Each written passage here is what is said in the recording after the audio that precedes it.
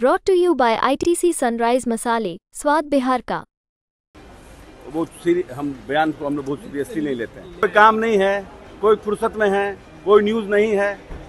नीतीश जी बोल चुके हैं तो बार बार उसी न्यूज़ को क्या चलाते हैं? क्या मतलब है चलाने का? किसी का बोलने का? फालतू का बात? वो तो अपना विधायक बचाना चाहते हैं। गुस्से से आग बबूला हुए बिहार सरकार में मंत्री अशोक चौधरी। नीतीश कुमार पर जब अशोक चौधरी से सवाल किया गया तो मंत्री जी भड़क उठे। गुस्से से इतने लाल पीले हो गए कि पत्रकारों से ये कह दिया कि कोई और काम नहीं है क्या? इसके साथ ही बता दें कि जब पत्रकारों के द्वारा अशोक चौधरी से नीतीश कुमार को लेकर के, उनके सफ़ाई को लेकर के सवाल किया गया तो अशोक चौधरी का गुस्सा सातवें आसमान पर चढ़ गया। उनसे पूछा गया कि नीतीश कुमार बार बार सफ़ाई क्यों दे रहे हैं? तो अशोक चौधरी गुस्से से भड़क उठे। अशोक चौधरी ने कहा कि आप लोगों के पास कोई काम नहीं है। नीतीश जी बोल चुके हैं बार बार क्यों ये सवाल किया जा रहा है? वहीं आरजेडी के बयान को लेकर के सवाल किया गया। नीतीश कुमार पर रोहिणी आचार्य द्वारा किए गए ट्वीट को लेकर के जब सवाल किया गया तो अशोक चौधरी ने कहा कि उनके बयान को कौन सीरियसली लेता है। वो सीरि- हम बयान को हम लोग बहुत सीरियसली नहीं लेते हैं। लेकिन राजद वाले कह रहे हैं कि बार बार सीएम नीतीश कुमार आप लोग के पास कोई काम नहीं है कोई फुर्सत में है कोई न्यूज़ नहीं है। नीतीश जी बोल चुके हैं तो बार बार उसी न्यूज़ को क्या चलाते हैं? क्या मतलब है चलाने का?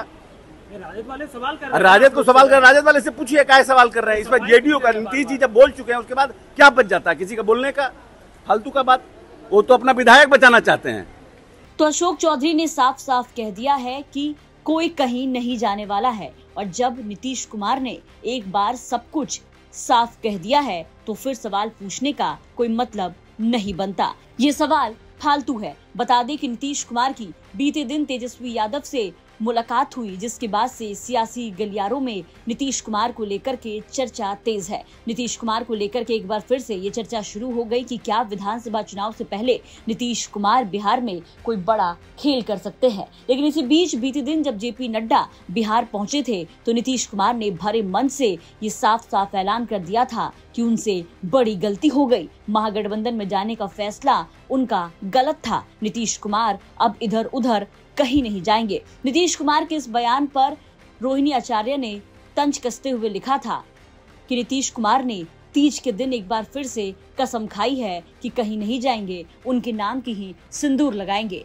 अब नीतीश कुमार और रोहिणी आचार्य के ट्वीट पर जब अशोक चौधरी से सवाल किया गया तो अशोक चौधरी गुस्से से आग बबूला हो गए और भड़कते हुए साफ़ कह दिया कि उनके बयान को कोई सीरियसली नहीं लेता। नीतीश कुमार ने जो भी कहा है, वो साफ़ कह दिया है। पटना से शुभम निराला की रिपोर्ट बिहार तक।